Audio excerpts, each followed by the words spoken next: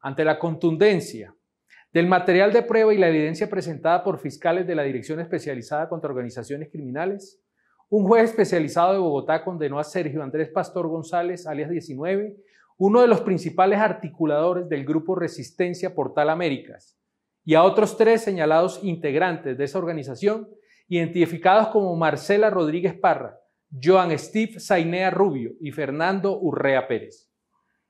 Estas personas fueron declaradas responsables de los delitos de tortura y concierto para delinquir. La Fiscalía demostró que los sentenciados se concertaron y actuaron coordinadamente para realizar actos vandálicos de tortura a particulares y agresiones contra fuerza pública en el suroccidente de Bogotá.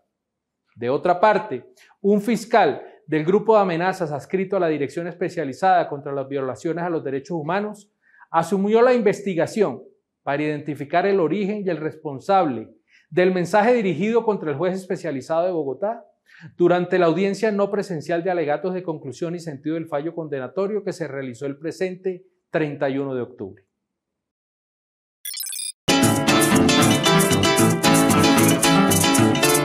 En ese sentido, la Fiscalía ayudará en todo lo relativo a ese sometimiento porque hay voluntad de paz de la Fiscalía General de la Nación.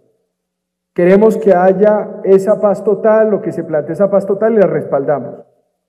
Nosotros institucionalmente respaldamos las iniciativas, más aún la paz como un derecho de obligatorio cumplimiento, pero bien hecha y sobre los estándares legales, constitucionales e internacionales que se establecieron en este territorio y que acataron, acataron los estándares internacionales de derechos humanos. Las caracterizaciones judiciales de la Fiscalía ya están hechas. La Fiscalía General de la Nación no es la del 2005 ni la del 2006 frente a la Ley 975. Es una fiscalía mucho más técnica y mucho más científica.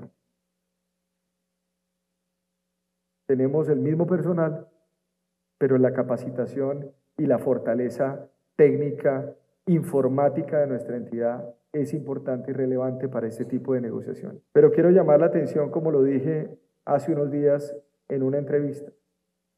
Los mínimos de esa negociación ya están determinados por la negociación de las FARC. Más que eso, no puede haber.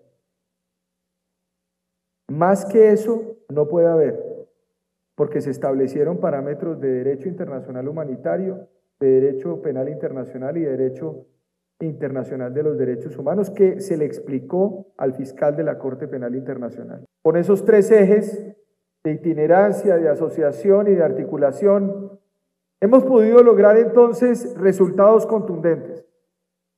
Nosotros recibimos el homicidio doloso en el 27% de esclarecimiento en Colombia y hoy estamos cerrando con el 43% del homicidio, del esclarecimiento del homicidio doloso en Colombia.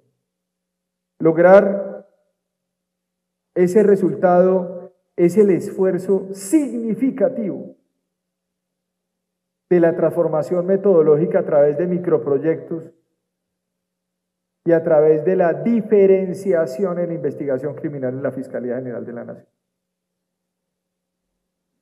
En términos simples, no todos los crímenes se investigan igual.